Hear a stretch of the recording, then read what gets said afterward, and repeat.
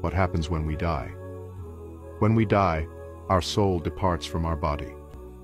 And the soul goes on a journey that has many stages to it. One stage of the journey of this soul is when the soul descends into the grave to be reunited with our bodies. And when the soul is coming down, it witnesses the funeral, and your body is laying there on the ground, wrapped up, getting ready to be buried. And you're descending, and you're seeing this, and you're hearing it, you're experiencing it. And when the people then take your body and place it in the grave, your soul descends in there, into the grave, to be reunited with your body. And then your loved ones, your friends will start shoveling dirt, placing it in the grave, and throwing it on top of you. And you will feel it fall on top of you. And they will do this until you are completely covered up, and you will be there in the grave, covered up, and you will have consciousness. After your family makes some dua and says some nice, kind words about you, they'll walk away. They'll leave.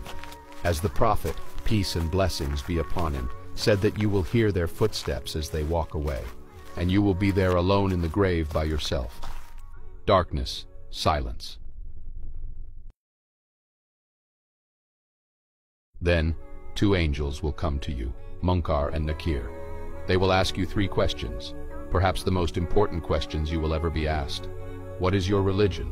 Who your Lord? Who is your prophet? If you answer these questions correctly, you'll have peace. You'll have pleasure until the day of judgment. But if you don't answer these questions correctly, your stay in the grave will be full of pain. At this point, you are probably saying to yourselves, I'm good because I'm a Muslim, and I know the answers to these questions and I'll answer them correctly. The answer is not given with your tongue. The answer is not given with your brain. The answer is given with your heart. What is in your heart will come out at that moment. If you spent your life not really striving to be a Muslim, a true Muslim, trying to practice, then Islam really was not in your heart.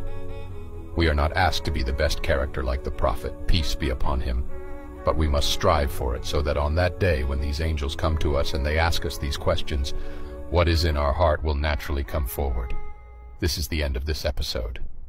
Subscribe for more content.